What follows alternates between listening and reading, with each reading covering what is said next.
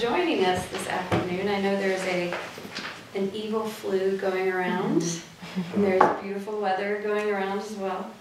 Um, I'm Elizabeth Dark, Associate Director of Programs for the Kenyon Review. And uh, before I introduce David, I wanted to point out to you all that we have a panel next Tuesday in this room at 4.30. Um, this is part of uh, Misha Rai and Keith Wilson's Fellows project called Proof Casts a Shadow. And we are bringing to campus uh, three writers, Gabrielle Bellot, Grace Shui Liu, and Nay Se Sorino. Um, so they will be here having a conversation with Keith and Misha, uh, and there will be Q&A, there will be a reading. It's going to be a fine time.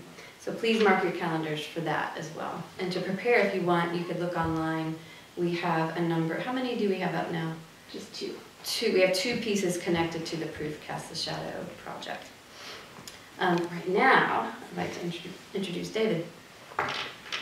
Not only is David Baker one of contemporary poetry's most gifted lyric poets, he is also an indispensable member of the Kenyon Review family. He contributes his, his contributions to this literary arts organization are countless, but perhaps the most obvious one is his role as the journal's poetry editor for over 25 years. Good God. Which is longer than Only 20 of for us Revolve listen I'm sorry. We're glad. He has raised the Kenyon Review to rare national prominence. He also began his teaching career here at Kenyon before being lured away by the charms of Granville, Ohio, where he holds the Thomas B. Fordham Chair at Denison University. David is the author of 12 books of poetry and six books of prose. Among his awards are prizes and grants from the Guggenheim Foundation, National Endowment for the Arts, Poetry Society of America, Mellon Foundation, and the Society of Midland Authors. In his newest book, Swift, he gathers poems from eight collections, but first opens the volume with 15 new poems that continue Baker's growth in form and voice as he investigates the death of parents, the loss of homeland, and a widening natural history, not only of his beloved Midwest, but of the tropical flora and fauna of, the of a Caribbean island. Together, these poems showcase the evolution of Baker's distinct eco-poetic conscience, his mastery of forms both erotic and elegiac, and his keen eye for the shifting landscapes of passion, heartbreak, and renewal. With equal curiosity and candor, Baker explores the many worlds we all inhabit, from our most intimate relationships to the wider social worlds of neighborhoods, villages, and our complex national identity, to the environmental community we all share. And if you haven't read Dan Chiasson's review of Swift in the most recent New Yorker, you should. I hope you will. Dan, who points us toward David's way of making a virtue of hesitation, says to read Swift is to appreciate the full range of the poem's formal resources their attunement to cycles and processes rather than to mere outcomes and effects, their patience over the long haul. Please join me in welcoming David Baker.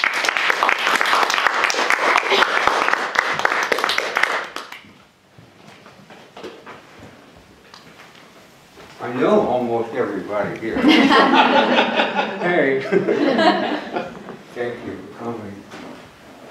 It is a beautiful day and there are many temptations to be elsewhere. It is National Poetry Month. Mm-hmm. One of the temptations. It's also National Confederate History Month. It's National Pecan Month. It's National Grilled Cheese Sandwich Month. Oh. Kite Month, Frog Month, Stress Awareness Month, Irritable Bowel Syndrome Month. It is National Sports Eye Injury Awareness Month. I looked. I, I wrote them all down. I love, don't you, I love that.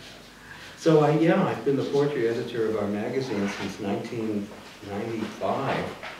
Good Lord. Is that right? Yeah, 95. But I have been with the magazine since, uh, in some form or another, since I first moved here um, to teach in 1983. Yep. Yep. It feels like a homecoming um, when I come back here every time. And I'm really pleased to be able to say that on a day that's also when this new book comes out, to- launch this book here uh, with you is very special. I appreciate it. I'm just going to read you some poems. And I'm going to read um, some poems from the new section of Swift to start with, just so you get a little sense. And then I'll read a few older ones, maybe 10 poems or so, something like that. I don't know. We'll see how it goes. And so, you know, I don't even know how to read from, I'm just going to read the first one. That right? People worry about which one to read. Read the first one. Pastoral. Here at the center of a field of green leaves waving, center of a grief, I can't see far enough to tell how it will ease. It will not ease. It goes on and on now, as yours does, in sunlight and in rain, holding hands with her in the last minutes. Sky so vast, hear the wheat roar.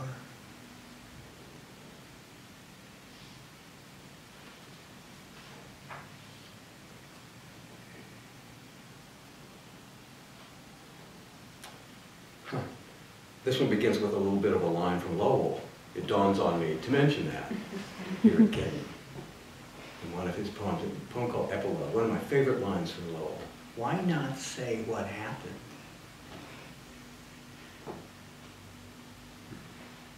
This one's for my father who died um, two years ago and about a week.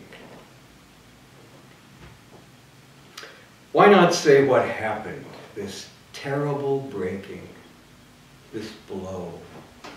Then slow, the dogwood strewn like tissue along the black road. No, the busy pollinators, the breeze in the pine shadows, in the aftermath where I drove back there.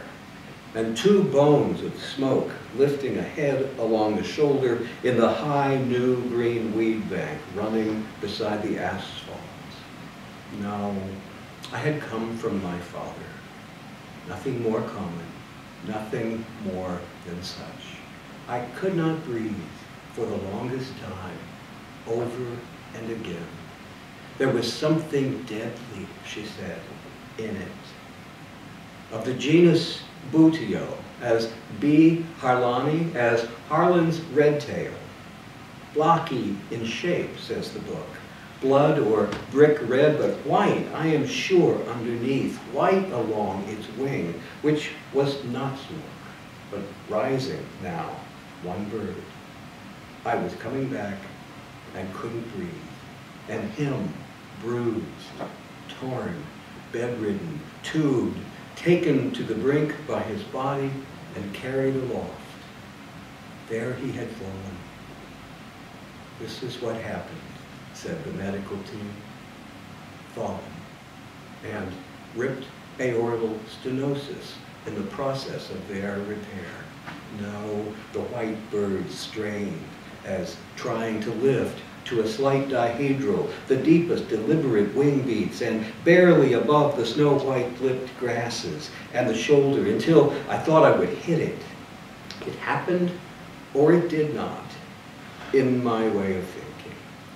And now why I saw two lengths of snake, helical and alive in the talons, heavy there, writhing, so the big bird strained for the length of time that it takes like the oiled inner organs of a live thing, heaving in shreds, the dogwoods, the doctors, and did I say the horrible winds all before?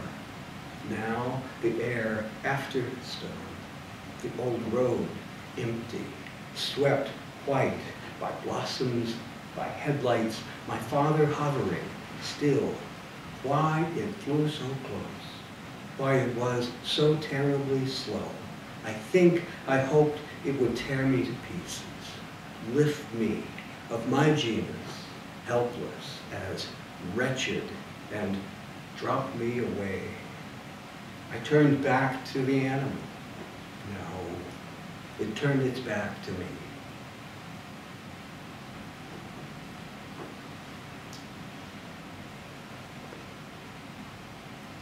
Rude to drink water in front of you, but I'm going to. I apologize. I sat outside for five minutes and the top of my head got hot. That wasn't funny. All right, a different tone. Original, there are 15 new poems in this book, um, and they were originally in three sections, and the sections marked different subjects. So Those first two were part of a group of poems from my mother and father in their passing. Then there's a group of poems about a little island where I like to go um, in the Caribbean called St. John. So I'll read a couple of those. It is National Frog Month, by the way, that's another one. It is. This is called Tree Frogs. I'm in the spirit of this. Tree frogs. One, the stars. The still heat is a blown curtain. The curtain wavers then. Now two of them. And another from beyond the blue agave. Soon the whistling wheat, eat, eat. The many, so many tree frogs, no bigger than thumbprints.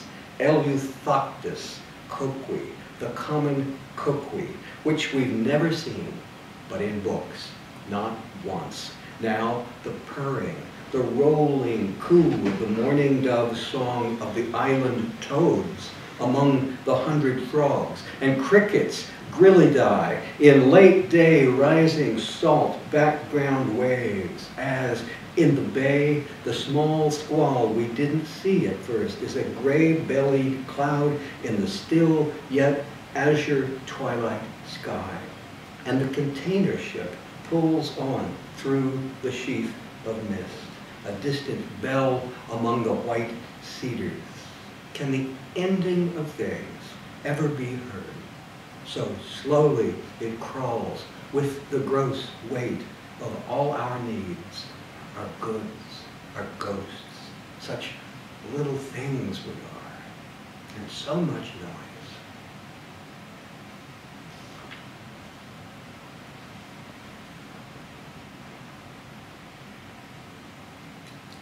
after. This is just a little. We came to the island. Stayed in the house. Rain and sun. Bougainvillea. Pink cedar. How many shadows slipped along walls or wetted the leaves of century plants? We saw clouds from the windows, far boats. You left the bed and came back shaking.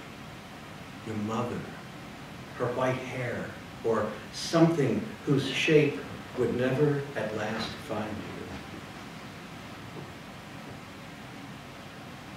Night palms clattering like hungry bulls. Crazy whistling of the island peepers. We walked to the water, walked back. We walked to the water, walked back.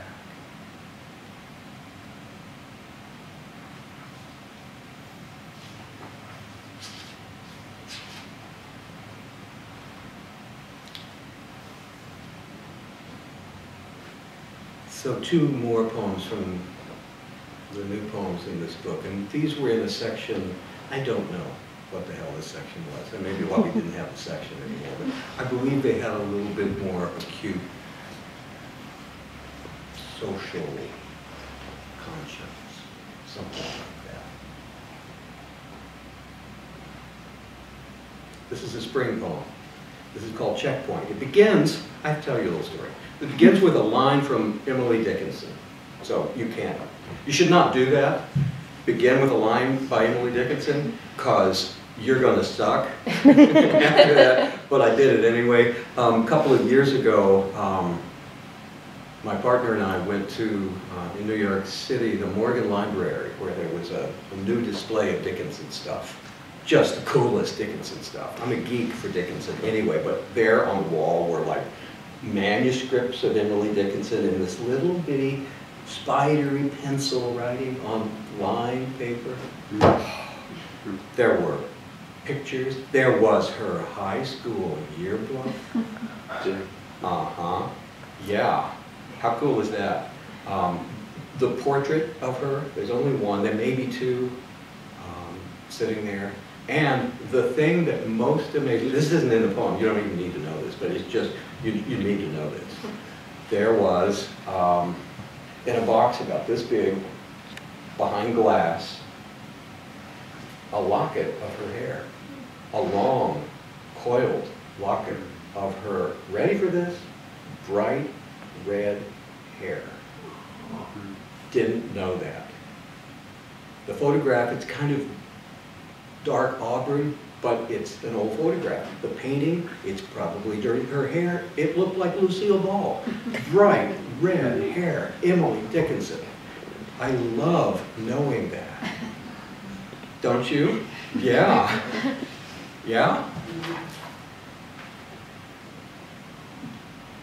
It's another thing that shows up a little later in this poem. I was doing some reading. Uh, There are groups around the country um, who help people prepare for interrogation from Homeland Security. I read a BuzzFeed article. If ICE captures you or catches you, they're going to ask you questions to trip you up.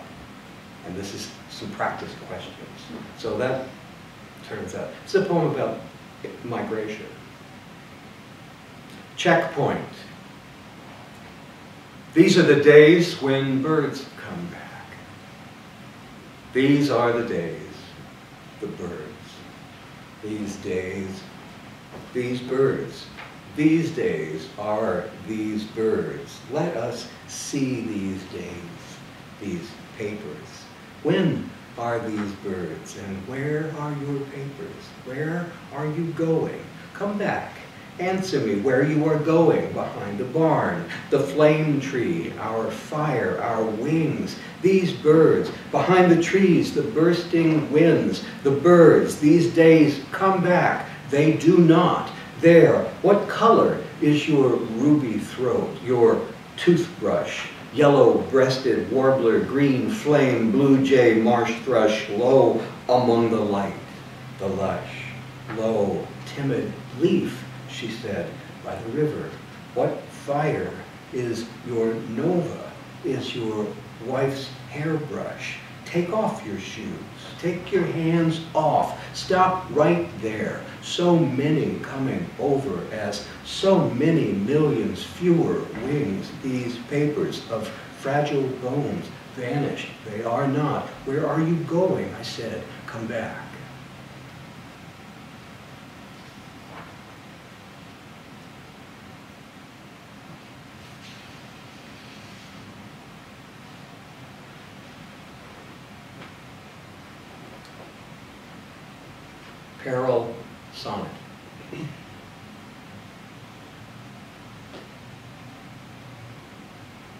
Where do you suppose they've gone? The bees. Now that you don't see them anymore. Four-winged among flowers. Low sparks in the clover. Even at nightfall, are they fanning? Have they gone another place, bloomed with pollen, stuck to their bristles, waiting beyond us? Spring dwindle is what we call it. Collapsing neonicotinoids, high level in pneumatic corn exhaust, loss of habitat or disappearing disease in the way of our kind, so to speak. What do you think they would call it? Language older than our ears. Were they saying it all along, even at daybreak?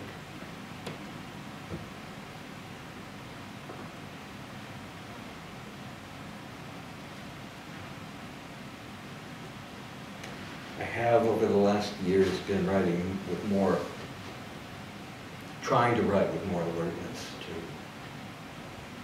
such things. But here's a brand new one in that same, by brand new, it's about a year old. That's new. In that same sort of vein. The loneliness of animals.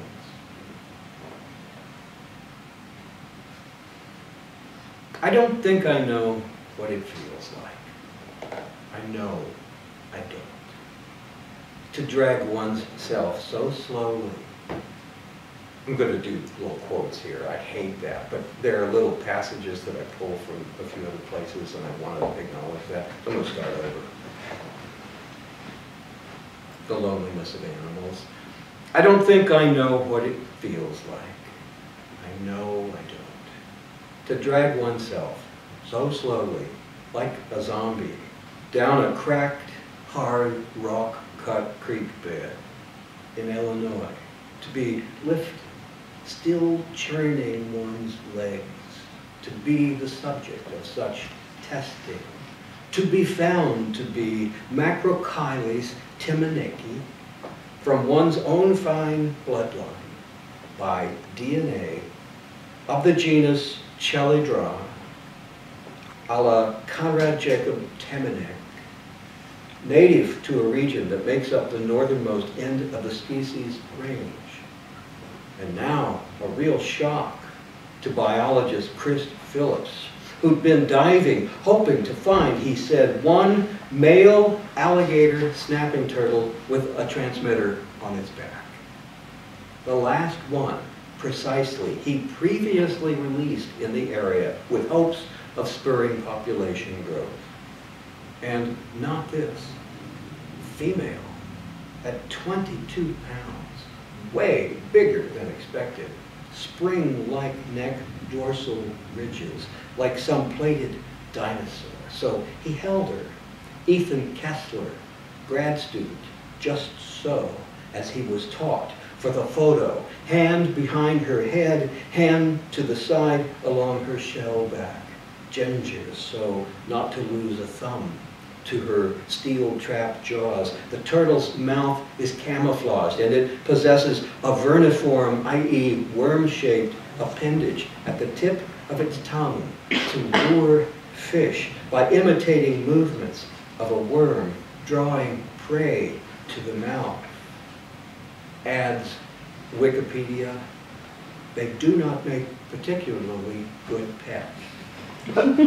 so when they reintroduced her back into the wild, by which I think they mean dredged rivers, drained swamps, small wood runs, culverts, check dams, and irrigation crop circle exurbs, her battery transmitter died immediately. And finding her in the water's depths again might take 30 years. Let's hope so.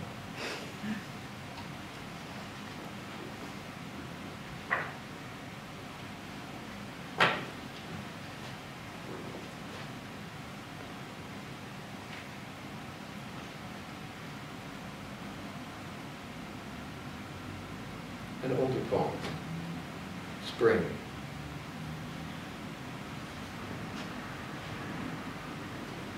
This is called Trillium. Do you know that one? This is just about the time. Not quite. The spring ephemerals are not quite up yet.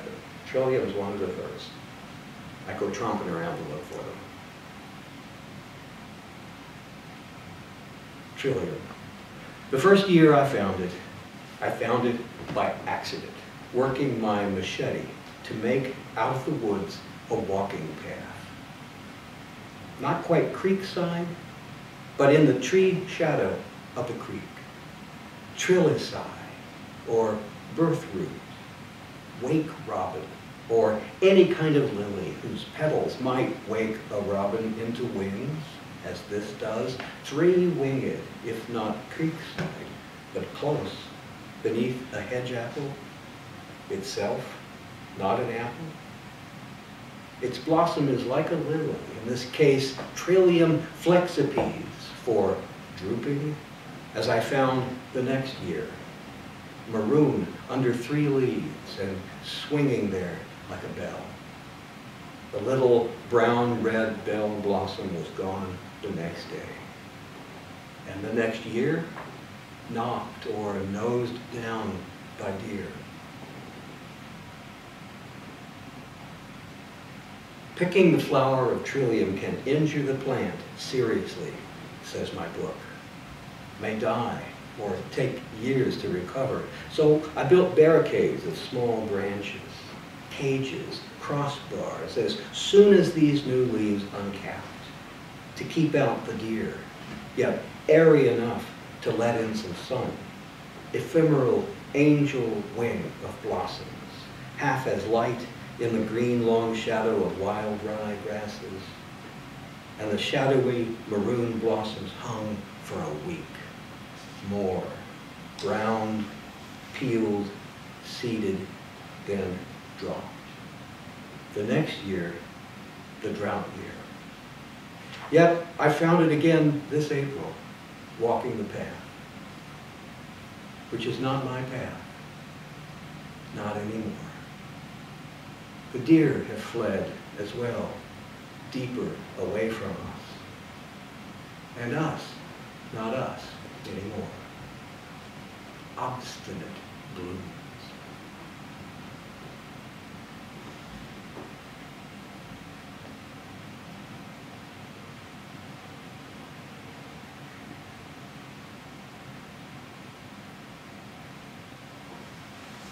This one's just a little bit longer, not much.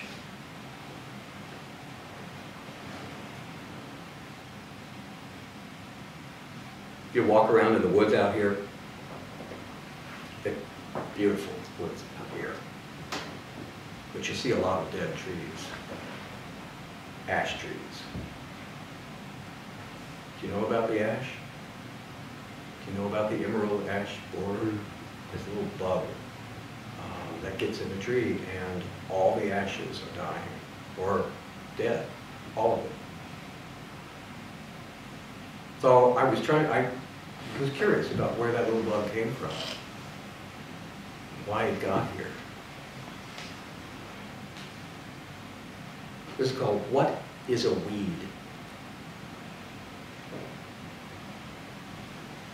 Emerald, as in the leaf of the ash, though nothing's burned, not yet, as the ash green, gray-green, fiery wingspan of the adult, whose bullet body and flat black eyes are less the way we know them than by the trees, by the death of the trees, by the millions. The adults emerge A. planipennis of the genus Agrilus in May, June, July, then in bark crevices between layers of the diamond derma, females set their eggs, whose larvae in a week bore back into the trees. They chew the phloem, they eat the inner body of the bark, creating winding galleries as they feed. This cuts the flow of water nutrients to the tree. This causes dieback, causes death. What is a weed? What I saw was a tree. A thousand trees in the village. More. But one at the point of the street corner lot where all summer I held my girl by the back of her bike and ran the green block down. The tree was obvious, catalpa, its long three branching trunks splayed like a birch, whose shagbark white parchment skin is equally unmistakable, leaves as big as a piece of paper if the page were a heart or head of a spade, and pale green, foot-long at least bean pods dangling like ropey toys. Three trunks pushing from our one earth, equally thick, the same height, and then among two trunks of waving catalpa, I saw ash leaves, fist-sized, but delicate, blooming from the third. All over the village, the ashes are dying. Already dead, my tree friend says. The scourge, emerald borer, rode in on shipping crates, Asia via Lake Erie, 2002. They dated to the month. And in bundles of firewood, in luggage of travelers, in bedding plants, their radiant display spread like wildfire up Ontario, down through Ohio, Illinois, and now 7.5 billion ash trees. Mountain white, Fraxinus americana, and blue, fragrant, Carolina, green, of the family Oleaceae, of opposite branching, of compound pinnate leaf, whose timber is wonderfully springy, excellent for oars and tools, and lends itself to steaming and turning, as in bentwood furniture, will die. Though some refer to them as trash. Trash ash. What is a weed?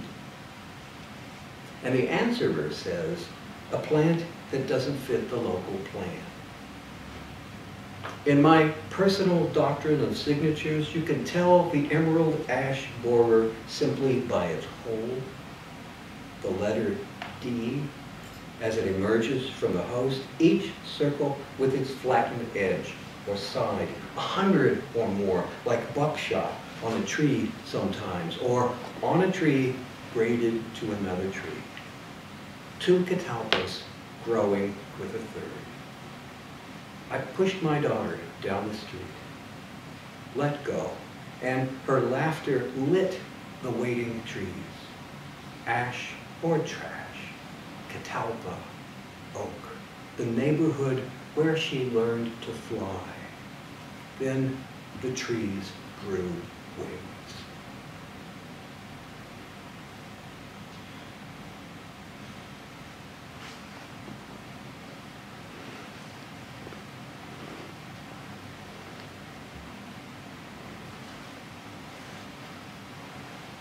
I think I'll read just two more. This is, I have to read this one. This is a poem called Swift, about Granville, the metropolis. There's this thing in Granville, people don't know about it. Um, you've been there. There's a post office, old brick post office with a big old chimney. And in late July and August and into September, the chimney is the home for a flock, a massive flock of swifts.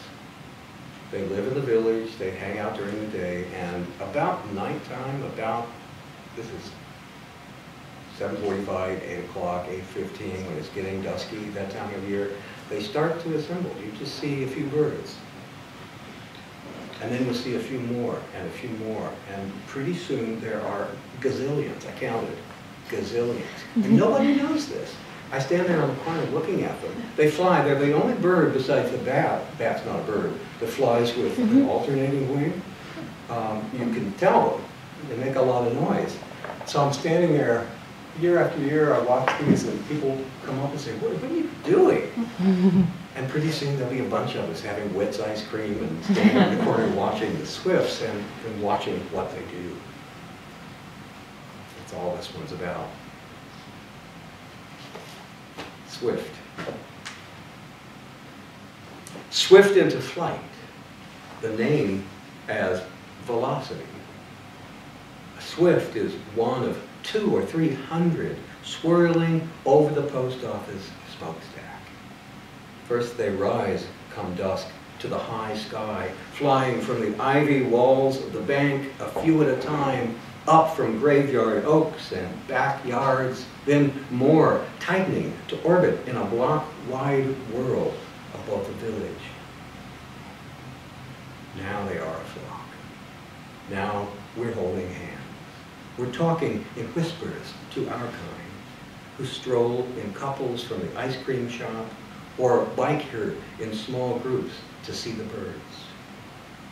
A voice in awe turns inward. As looking down into a canyon, the self grows small. Smaller swifts are larger for their singing. The spatter and high cheep, the shrill of it, and their quick bat-like alternating wings, and the soft pewter sky sets off the black check-marked bodies of the birds that they skitter like water toward a drain. Now one veers, dives as if wing shot, or worse, out of the sky over the maw of the chimney, flailing, but then pulling out as another dips and the flock reverses. It's circling. They seem like leaves spinning in a storm, blown wild around us. And we, their witnesses, witness the way they finish. The first one simply drops into the flute. In four, five, in as many seconds, pulling out of the swirl, sweep down. So swiftly, we're alone. The sky is clear of everything but night. We are standing at a loss within it.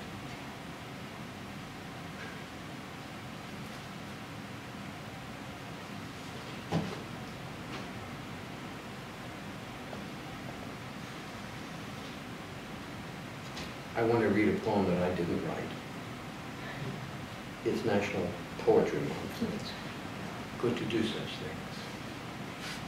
This is a poem by someone who is dear to the magazine, W.S. Merwin, who died about three weeks ago. This is the very last poem in his very last book. He was 90 but he, three weeks ago, just didn't wake up.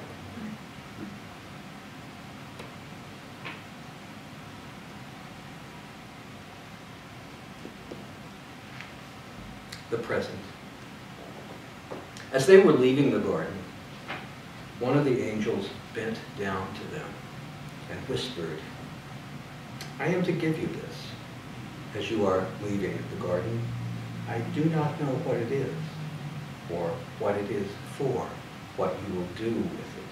You will not be able to keep it, but you will not be able to keep anything. Yet they both reached at once for the present, and when their hands met, they laughed.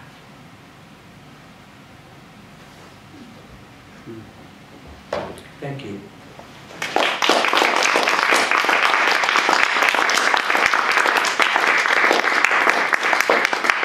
Thank you for coming on a beautiful day. Does anyone have questions for David? Oh, yeah. Forgot about that. You don't have to. Of course. Um, do you see the project of this book different um, than the rest of your body of work so far? And if so, how might you describe it? I don't know exactly what you mean. hmm Yes. Okay. It took me something like, well, do the math, seven years to do this book. I did a version of this book in 2012 and 2013, put together a new and selected. Um, Showed it to my buddies and messed around with it for about a year. I Showed it to my editor, and she said, yeah, you could do this.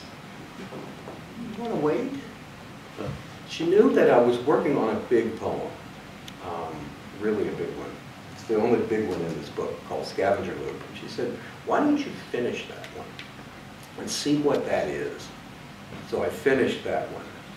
In 2013, my mother died. And that became the part of that big poem that I didn't know how to write.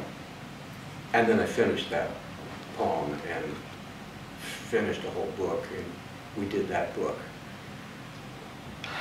And I had set this aside. So about, well,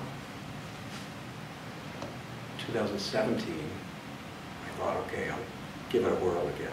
And printed out a whole bunch of stuff and looked, just started over completely, looked at all my books, sat I did the thing, you know, sat in my floor and put a pile here and moved a pile over there, and moved one over there, and did that for about six months, and then sent it to some buddies and kicked it around. It was bigger, it was shorter, it was in different orders. I wanted this one to be really severe. It's not a very big book for somebody who's old and, you know, has a lot of poems. Um, I left out poems I like, I left out poems I do at readings. I just wanted this one to be a new thing. Um, And I'm proud of that. There are only seven poems from each of my books, and no poems from my first book. And then I took books number two and three and just picked seven altogether from those two books. They're not, so they're not many.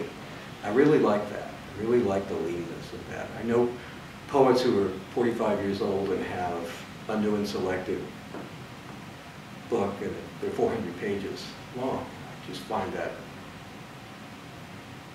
there are lots of different words for what I find. Questionable. And it goes backwards chronologically. It goes from new to old, which is weird. My editor wasn't sure about that. I said, no, let's do that. That's what. And the oldest poem in my book is, I wrote in 1983.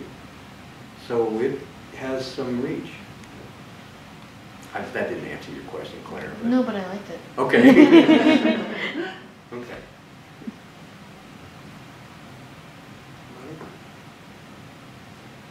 Yeah, Andy?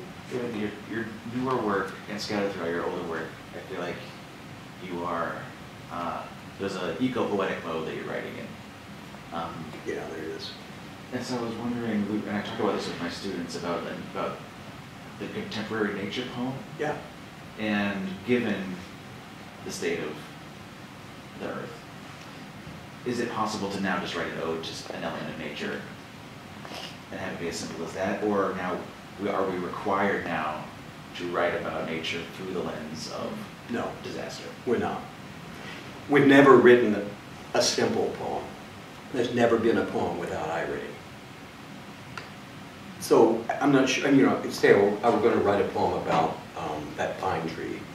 um, It would always have an undertone of some kind of winking or irony or we know this already, been there.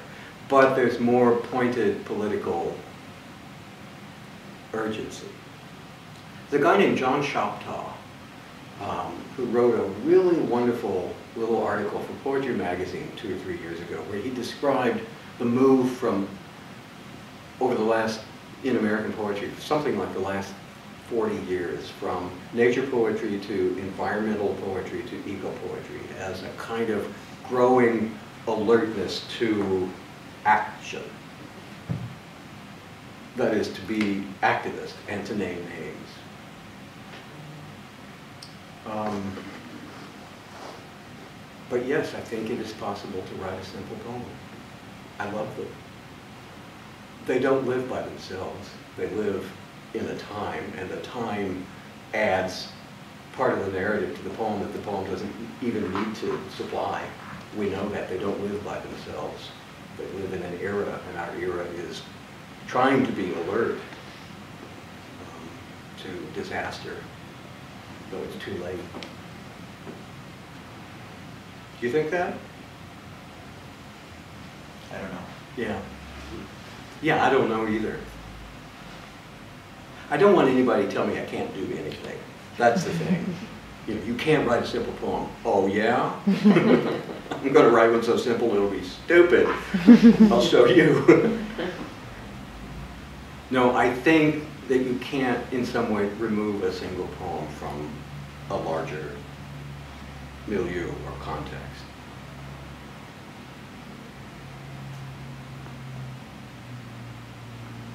Anybody? Okay. All right. Well, we have David's book for sale in the back, and he has offered to sign them.